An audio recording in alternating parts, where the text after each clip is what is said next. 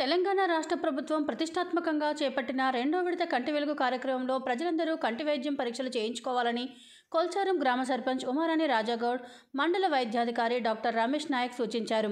మెదక్ జిల్లా కొల్చారం మండల కేంద్రంలో నేడు కంటి వెలుగు కార్యక్రమాన్ని ప్రారంభించారు. నేటి నుంచి పద్నాలుగు రోజుల పాటు గ్రామంలో కంటి వెలుగు కార్యక్రమాన్ని నిర్వహిస్తామని వారు తెలిపారు.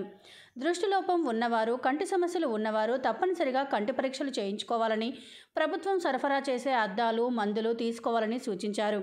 కంటి వెలుగు కార్యక్రమాన్ని విజయవంతం చేసేందుకు ప్రజలకు అవగాహన కల్పిస్తున్నామని వారు తెలిపారు. ఈ కార్యక్రమంలో MPDO Ganesh Reddy panchayat secretary Anjaneyulu Vadla Prabhakar ANM సంగీత జ్యోతి తదితరులు పాల్గొన్నారు.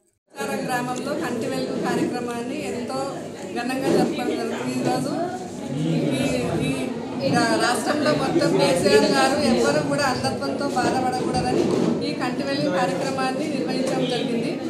ఈ కార్యక్రమాన్ని గ్రామ ప్రజలు అందరూ కూడా సద్వినియోగం చేసుకొని అందరూ కూడా ప్రతి ఒక్కరూ చూపించుకొని కళ్ళద్దాలు తీసుకొని వెళ్ళవలసిందిగా కోరుకుంటున్నాను. అందరికి నమస్కారం ఈ కంటి వెలుగులో భాగంగా ఈరోజు కొంచారం గ్రామంలో ఈ గ్రామ పంచాయతీలో మన గౌరవ సర్పంచ్ గారి కంటి కంటి వెలుగు ప్రోగ్రాం లాంచ్ చేయడం జరిగింది.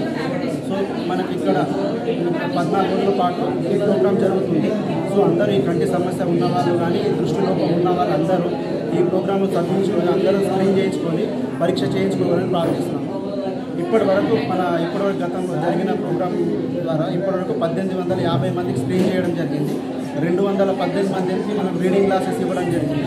ఇప్పటివరకు వరకు రెండు వందల అరవై మంది ఇవ్వడం జరిగింది. సో మన ప్రిస్క్రిప్షన్ ఇంతకుముందు వాళ్ళకు కూడా స్టేట్ క్లాసెస్ వచ్చాయి.